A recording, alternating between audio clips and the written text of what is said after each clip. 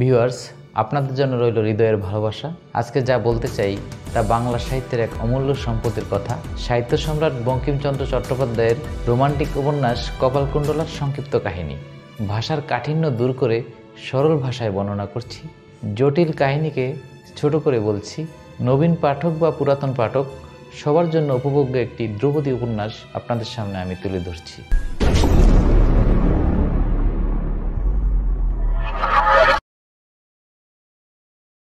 অনেক বছর পূর্বে নবকুমার কিছু যাত্রীসহ গঙ্গাসাগর শেষে বাড়ি ফিরছে।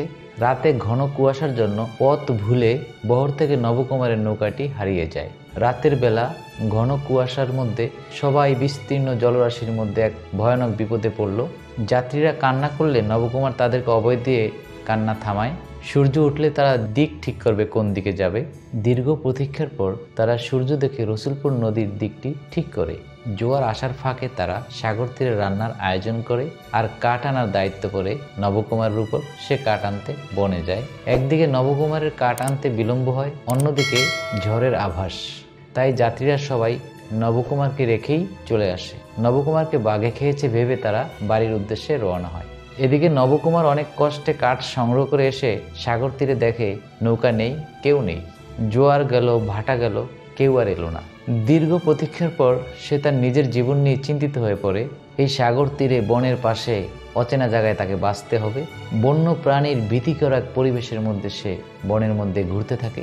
তার আছে ক্ষুধা ও ভয়। এ অবস্থায় একটু বিশ্রাম নিতে গিয়ে সে ক্লান্ত দেহে ঘুমিয়ে পড়ে। ঘুম থেকে জেগে সে অনেক দূরে একটু আলো দেখল। ভাবলো, এ আলো মানবসৃষ্ট আলো না কোনো ভৌতিক আলো? অন্ধকারে লতা পাতার মধ্যে দিয়ে সে আগুনের দিকে যায়। আগুনের কাছে বসে আছে ভীষণ চেহারার এক পুরুষ। গায়ে বাঘের চামড়া, গলায় মানুষের হাড়গোড়, মাথায় জ্বর, গলিত লাশ, হাড় খুলির উপর সে বসে আছে। ইনি হচ্ছেন কাপালিক। ইনি মানব দেহ পুড়িয়ে জব করছেন। নবকুমার ভয়ের তো। এ অবস্থায় কাপালিক জিজ্ঞেস করল, কে তুমি? নবকুমার নাম বলল, কিছুক্ষণ পর কাপালিক তাকে একটি পাতার ঘরে নিয়ে যায়।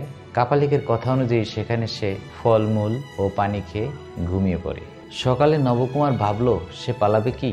কাপালিক না আসায় সে খাবারের সন্ধানে বের হয়।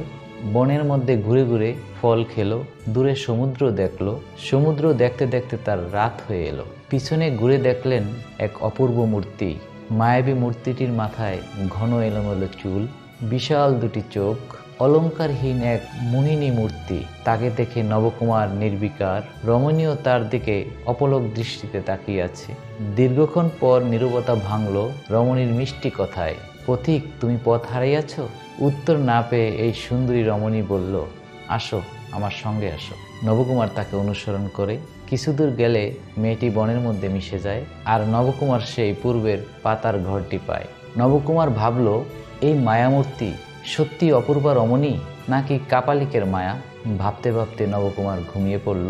পরের দিন সে মায়াবিনীকে আবার দেখার আশায় সেই সাগর তীরে চলে যায়, কিন্তু তার আর দেখা পেল না। এই মায়াবিনী নারীই হচ্ছে কপালকুণ্ডলা। যাই হোক, নবকুমার হতাশ মনে কুটিরে এসে দেখল সেখানে কাপালিক বসে আছে। তার কাছে নবকুমার বাড়ি যাওয়ার ইচ্ছা প্রকাশ করলে কাপালিক তাকে নিয়ে রওনা হয়। রাতের অন্ধকারে তারা কিছুদূর যাওয়ার পর নবকুমার বুঝতে পারে তার পিঠে হাত দিয়ে সেই নারী বলছে, পালিয়ে যাও। নবকুমার একটু দ্বিধাগ্রস্ত হয়ে পড়ে। কি করবে? সে কাপালিককেই অনুসরণ করল? আবারও কপালকুণ্ডলা নবকুমারকে পালাতে বলল। আর তখনই কাপালিক তা শুনতে পেল। কাপালিক কপালকুণ্ডলার ওপর প্রচণ্ড রেগে গেল। শক্ত হাতে নবকুমারকে ধরে নিয়ে শুকনো লতা পাতা দিয়ে বেঁধে ফেলল। তলোয়ার খোঁজ করল নবকুমারকে জবাই করার জন্যে, কারণ তার মাংস দিয়েই ভৈরবীর পূজা করবেন। তিনি তলোয়ার পেলেন না, খুঁজতে গেলেন সেই পাতার ঘরে। এই ফাঁকে কপালকুণ্ডলা লুকিয়ে রাখা তলোয়ারটি দিয়ে নবকুমারের হাতের বাঁধন কেটে দেয়, পথ দেখিয়ে দিয়ে আবার নবকুমারকে পালিয়ে যেতে বলল। ওদিকে কাপালিক কোথাও তলোয়ার খুঁজে পেল না, এমনকি কপালকুণ্ডলাকেও দেখতে পেল না। পরবর্তীতে কাটা লতা পাতা দেখে কাপালিক বিষয়টি বুঝতে পারল এবং তাদেরকে খুঁজতে খুঁজতে এক পর্যায়ে বালিয়ারির উপরে উঠল। দুর্ভাগ্য বালিয়ারির নিচটা জলে ক্ষয়ে যাওয়ায় তা হঠাৎ ভেঙে পড়ে কাপালিককে নিয়ে। অন্যদিকে বনের মধ্যে কপালকুণ্ডলার পিছন পিছন ছুটছে নবকুমার। প্রায় মধ্যরাতে ভবানীর সেবক অধিকারীর নিকট কপালকুণ্ডল ও নবকুমার পুষল কপালকুণ্ডলা অধিকারীকে সব খুলে বলল, অধিকারী তাদেরকে অভয় দেয়। কপালকুণ্ডলা কাপালিকের কাছে যেতে চাইলে তাকে নিষেধ করে। কারণ তার কাছে গেলে কপালকুণ্ডলার আর রক্ষা হবে না। অধিকারী জানে কপালকুণ্ডলাকেও কাপালিক লালন করছে বলি দেওয়ার জন্যে। কপালকুণ্ডলাকে পরামর্শ দিলেন নবকুমারকে বিয়ে করে তাদের সমাজে চলে যাওয়ার জন্যে। এই বিয়ে সমাজ জীবন সম্পর্কে কপালকুণ্ডলার কোনো ধারণা ছিল না, কারণ সে বনের মধ্যে বেড়ে উঠেছে। যাই হোক, নবকুমারের পরিচয় জেনে অধিকারী তারই হাতে কপালকুণ্ডলাকে তুলে দিলেন। এখানে অধিকারী জানতে পারলেন নবকুমারের পদ্মাবতী নামে এক বউ ছিল, সে আর এখন নেই। এখানে একটি ঐতিহাসিক বিষয় আছে, পদ্মাবতীর বাবা আকবর শাহের সময়ে পাঠানদের হাতে বন্দী হয়ে পরিবার সহ মুসলমান হতে হলো। ধর্ম বিসর্জনের জন্য তাদের সঙ্গে নবকুমারদের কোনো সম্পর্ক ছিল না। যাই হোক অধিকারীর কথা হচ্ছে, কপালকুণ্ডলা আপনার জীবন বাঁচিয়েছে, আপনি ওকে বাঁচান। ও সম্ভবত জলদস্যু কর্তৃক পরিত্যক্ত এক ব্রাহ্মণ কন্যা কাপালিকে এই পবিত্র মেয়েটিকে পূজায় বলি দেওয়ার জন্য লালন পালন করে আসছে। এভাবেই তাকে নবকুমারের হাতে সমর্পণ করে এবং কেঁদে কেঁদে কাপালিক পালিত এই কন্যাটিকে স্বামীর সঙ্গে মেদিনীপুরের পথে দিয়ে আসে। নবকুমার স্ত্রীর জন্য পালকি ও দাসী ঠিক করে দিয়ে সে পিছনে হাঁটতে থাকে এবং হাঁটতে হাঁটতে সে পিছিয়ে পড়ে। মধ্যরাতে মাঝপথে একটি ভাঙা পালকি ও পালকিতে বাধা অবস্থায় এক নারীকে পায়। বুঝতে পারে ডাকাতরা তার অলঙ্কার নিয়ে নারীকে পালকির সঙ্গে বেঁধে রেখেছে। নারীটির অনুরোধে তাকে নিয়ে পথ চলতে থাকে, এক পর্যায়ে চটিতে গিয়ে পৌঁছে তার জন্য একটি কক্ষ ভাড়া করে দেয়। সেখানে অনেক আগেই কপালকুণ্ডল এসেছিল। এই গভীর রাতে চটিতে যখন আলো আনা হলো, নবকুমার দেখতে পেল, এক অপরূপ সুন্দরী এক নারীকে সে এই রাতের বেলায় সঙ্গে করে নিয়ে এসেছে। এই নারীটির মুখে সে ব্যক্তিত্বের ছাপ দেখেছিল, যার বয়স হবে আনুমানিক সাতাশ। নারীটিও নবকুমারের দিকে তাকিয়ে আছে। নারীটি নবকুমারকে জিজ্ঞেস করল, এরকম রূপসী কি সে আগে দেখেনি? উত্তরে নবকুমার একজনকে দেখার কথা বলে, আর সে হলো কপালকুণ্ডলা। স্বাভাবিকভাবেই নারীটির আকর্ষণ বেড়ে যায় কপালকুণ্ডলাকে দেখার, আর নারীটি তার পরিচয় দিতে গিয়ে বলে, সে মতিবিবি সে মুসলমান। অন্যদিকে নবকুমার যখন তার পুরো নাম ও তার গ্রামের নাম সপ্তগ্রাম বলে তখন সেই চটির প্রদীপটি নিভে যায়। অর্থাৎ নবকুমারকে এই নারীটি চিনতে পারে। সে যে তারই আপনজন ছিল। মতিবিবি সুন্দরী কপালকুণ্ডলাকে দেখবে। পোশাক ও অলঙ্কারে সজ্জিত হয়ে সে কপালকুণ্ডলাকে দেখতে যায়। দেখে সে খুবই বিস্মিত। এত সুন্দর! নিজের অলঙ্কারগুলো সে তাকে পরিয়ে দেয়। কারণ কপালকুণ্ডলাকেই যে এই অলঙ্কারে মানায়। নবকুমার ওগুলো নিতে না চাইলে মতিবিবি বলে তার অনেক আছে। তাকে শুধু স্মরণ করার জন্য অলঙ্কারগুলো দিয়েছে। পরের দিন নবকুমার স্ত্রীকে নিয়ে সপ্তগ্রামের দিকে রওনা হয়। আগের মতোই সে পালকিতে তার স্ত্রীকে তুলে দিয়ে নিজে পায়ে হেঁটে পিছনে পিছনে আসছে। এবারে মাঝপথে ভিক্ষুক কপালকুণ্ডলার কাছে সাহায্য চাইল। কপালকুণ্ডলার কিছু না থাকায় সে অলঙ্কারের কৌটাটি ভিক্ষুককে দিয়ে দেয়। ভিক্ষুক সেটি নিয়ে দৌড়ে পালিয়ে যায়। সে এতটাই সরল ছিল যে অলঙ্কার যে মূল্যবান জিনিস তাও বুঝতে পারল না। ভিক্ষুক এই অমূল্যদান পেয়ে কেন দৌড় দিল তাও সে বুঝতে পারল না। নবকুমার সপ্তগ্রামে আসার পর তাকে নিয়ে সবাই এতটাই উচ্ছ্বসিত ছিল যে কেউ আর জিজ্ঞেস করল না, কপালকুণ্ডলাকে কোথা থেকে এলো, কেন এলো? কারণ তারা সবাই জানতো নবকুমারকে বাঘে খেয়েছে। নবকুমারের বাড়িতে মা ও দুই বোন ছিল। তাদের মধ্যে শ্যামা সুন্দরীর সঙ্গে কপালকুণ্ডলার আলাপ জমে ওঠে। ননদ তাকে মিনময়ী বলে ডাকত। এই শ্যামা সুন্দরী মিনময়ীকে তথা কপালকুণ্ডলাকে সংসার জীবন সম্পর্কে একটা ধারণা দেয়। এই নতুন জীবনের সব কিছুই তার কাছে নতুন মনে হয় আর তার মধ্যে একটা ভয় কাজ করে। কারণ সে আসার সময় ভবানীর পায়ে একটি ত্রিপত্র রেখেছিল। আর সেটি পড়ে গিয়েছিল, যা একটি অশুভ লক্ষণ। চটিতে সাক্ষাৎ পাওয়া মতিবিবির কথা একটু খুলে বলি। মতিবিবি হচ্ছে তার ছদ্মনাম। সে যখন হিন্দু থেকে মুসলমান হয়, তখন তার নাম রাখা হয় লুৎফুন্নেসা সম্রাট আকবরের সময় তার বাবা উচ্চপদস্থ উমরা হন। রাজকীয় পরিবেশে রূপবতী লুৎফুন্নেসা শিক্ষা ও সংস্কৃতিতে পারদর্শী হয়ে ওঠে। কিন্তু পূর্বের স্বামী জীবিত থাকায় তার আর সংসার হয়ে উঠল না। তবে সম্রাট আকবরের পুত্র যুবরাজের সে প্রেমিকা ছিল। যুবরাজ তাকে তার প্রধান স্ত্রীর সহচরী করে দেন। এই লুৎফুন্নেসার লক্ষ্য, একদিন সে যুবরাজকে পাবে, যুবরাজ সম্রাট হবে, সে সম্রাজ্ঞী হবে। অন্যদিকে যুবরাজ মেহরুন্নেসার রূপে মুগ্ধ হয়ে তার প্রেমে পড়ে যায়। তবে তার আবার বিয়ে হয়ে যায় শের আফগান নামের বিক্রমশালী এক উমরার সঙ্গে। বিষয়টি লুৎফুন্নেসা বিশ্লেষণ করে এভাবে, সম্রাট আকবরের মৃত্যুর পর যুবরাজ সেলিম সম্রাট হবে আর মেহরুন্নেসাকে পাওয়ার জন্যে সেলিম সেই আফগানকে হত্যা করবে। লুৎফুন্নেসা চাচ্ছে না তার বাল্যসখী মেহরুন্নেসা যুবরাজ সেলিমের স্ত্রী হয়ে আসুক। তাই সে চাচ্ছে না যুবরাজ সম্রাট হোক। সে সেলিমের স্ত্রীর সঙ্গে আলাপকালে পরিকল্পনা করে সেলিমকে সম্রাট না বানিয়ে তার ছেলে খসরুকে সম্রাট বানানো হোক। অর্থাৎ আকবর তার ছেলে যুবরাজ সেলিমকে না বানিয়ে তার নাতিকে সম্রাট বানাবে। অন্যান্য ওমরাদের ম্যানেজ করার দায়িত্ব নেয় লুৎফুন্নেসা তবে এই প্রাসাদ ষড়যন্ত্রের পরিকল্পনা যদি ভেস্তে যায়, পালানোর একটা পথ রাখতে হয়, আর সেই পথটি হলো উড়িষ্যা। এই উড়িষ্যা থেকে ফেরার পথেই নবকুমারের সঙ্গে চটিতে লুৎফুন্নেসার দেখা হয়েছিল, যেখানে লুৎফুন্নেসার তার নাম বলেছিল মতি বিবি যাই হোক, মাঝপথে তাদের পরিকল্পনা ব্যর্থ হয়। সম্রাট আকবর যুবরাজ সেলিমকেই সম্রাট করেন। এ অবস্থায় মেহরুন্নেসার মানসিকতা বুঝতে যায় লুৎফুন্নেসা। বাল্যসখী দুজন আলাপকালে লুৎফুন্নেসা বুঝতে পারে মেহরুন্নেসা সত্যি সত্যি সেলিমের প্রতি দুর্বল? আগ্রা এসেও বুঝতে পারে সেলিমও মেহরুন্নেসার প্রতি দুর্বল। তাই সে সব আশা ত্যাগ করে পূর্বের স্বামী নবকুমারকে পেতে চায়। আগ্রার চাকচিক্য ছেড়ে, বেগম হওয়ার স্বপ্ন ছেড়ে লুৎফুন্নেসা বাংলাদেশের দিকে রওনা হয়, কারণ সে প্রাচুর্যের মধ্যে তেমন শান্তি পায়নি, যেমন শান্তি পেয়েছিল এক রাতে ওই চটিতে নবকুমারকে একবার দেখে। নবকুমারের প্রতি তার প্রচণ্ড প্রেম তৃষ্ণা জাগলো তার টানে সপ্তগ্রামে এসে শহরের পাশে একটি কক্ষে বাস করতে থাকল। সে নবকুমারের সঙ্গে দেখা করল, কথা বলল। সে নবকুমারকে চায়, নবকুমার স্ত্রী হতে চায়, কিন্তু তা তো আর সম্ভব না। অনেক কান্নাকাটি করল নবকুমারের কাছে। শুধু একবার দেখা দেওয়ার কথা বলল, তাও সম্ভব নয়। কারণ লুৎফুন্নেসা বিধর্মী, পরস্ত্রী সব কিছু ছেড়েও লুৎফুন্নেসা নবকুমারকে পাবে না। সে তাকে পাওয়ার আশা ছাড়বে না। এক পর্যায়ে সে উন্মাদ হয়ে সাপের মতো ফনা তোলে, আর এ দৃশ্যে নবকুমারের মনে পড়ে যায়, তার সেই তেরো বছর স্ত্রী এভাবেই ফনা তুলত, এভাবেই রাগ করত।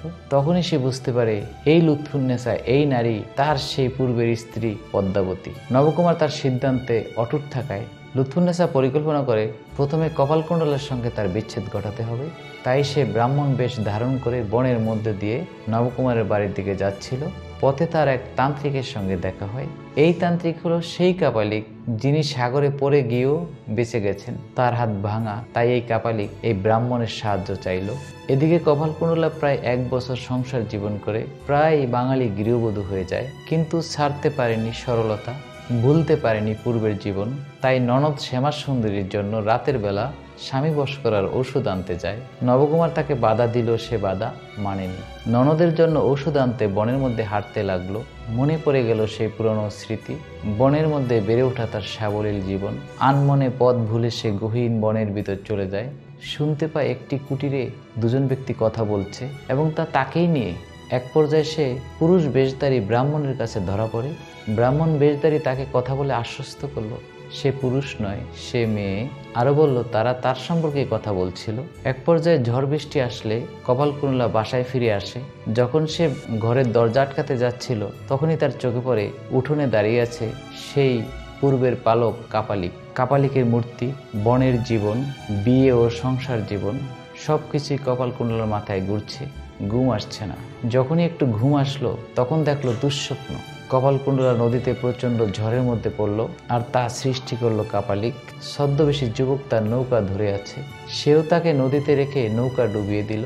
কপালকুণ্ডলার ঘুম ভেঙে গেল। সকালে জানালার কাছে লতাপাতার মধ্যে একটি চিঠি পেল। ব্রাহ্মণবেশী যুবক তাকে পূর্বের জায়গায় কথা শুনতে বলেছে। সে তার সম্পর্কে কথা বলবে। কাপালিককে আবার দেখে যুবকের পরামর্শ শুনে স্বপ্নে নৌকা ডুবি দেখে নানান চিন্তায় তার দিনটি কেটে গেল।